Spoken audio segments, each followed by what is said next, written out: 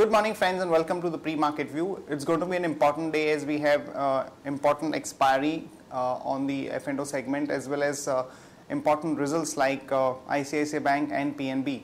Uh, first talking about the global markets, US markets were down uh, sharply by about 0.5 to 0.6 percent as the Q4 GDP data that came out were not impressive at all. In fact, the GDP contracted by about 0.1% as against the expectations of uh, almost 1% kind of a growth. Uh, same was the case with the European markets.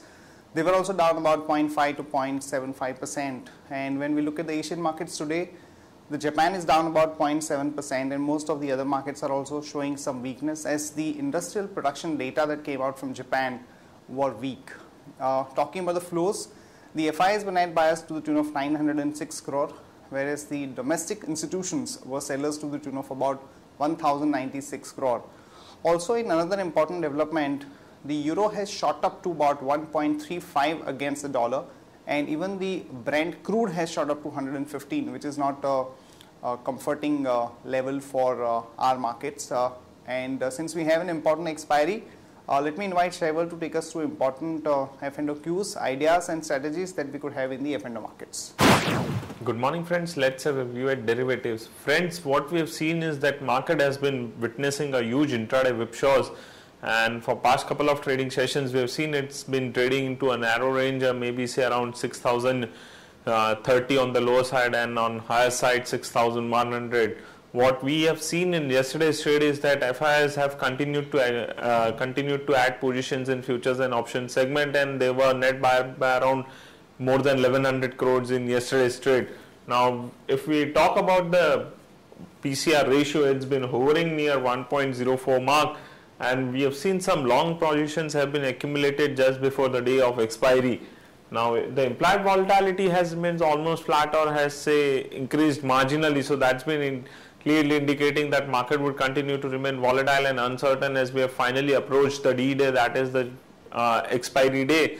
And on the options front we have seen that the activity has squeezed down to the 6000 has squeezed down to 6000 February call as well as put option. And on uh, current month uh, from current month perspective 6000 put option has witnessed a good activity.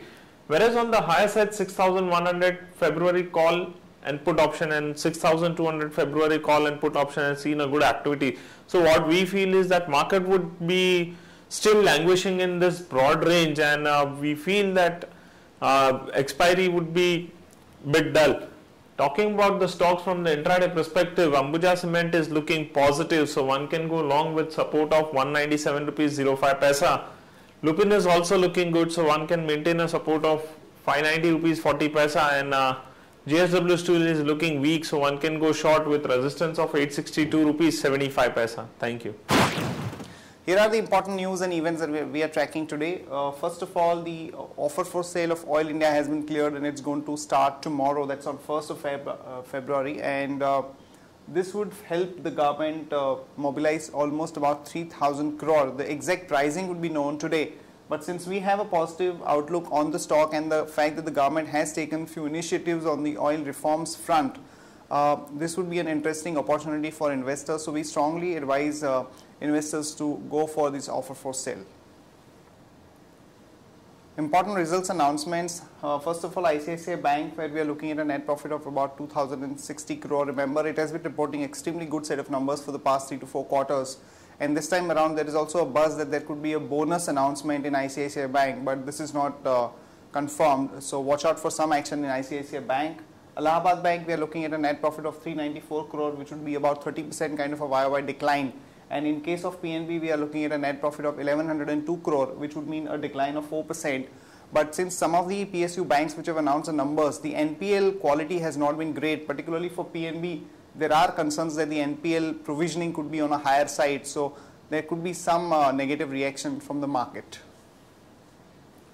GAIL India, some positive news as the US has allowed the GAIL to ship shale gas uh, in India, uh, making an exception to the, its export policy, which would allow GAIL to import almost about 3.5 million tons per annum starting from 2017-18 for almost about two decades. So this is positive for GAIL. One can go long there with a stop loss of 332 and a target of about 349 to about 356.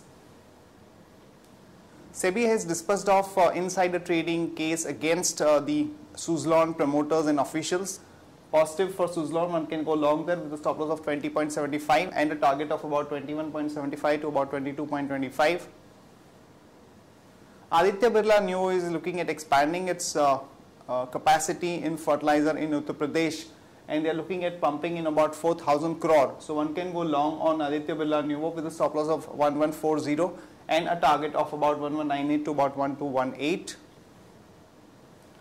CESC some positive news as finally the state government has allowed it to increase the tariff by almost about 8 paisa which would be the fourth installment uh, of such price hike. Uh, so positive for CESC one can go long with a stop loss of 309 and a target of about 325 to about 330 rupees. Central Bank of India would see a fund infusion to the tune of about 2406 crore by issuing the preferential shares to the government. So this is positive for central bank. One can go long with a stop loss of 81.25 and a target of about 85 to about 87. That's it from all of us friends. Have a nice trading session and see you tomorrow at the same time.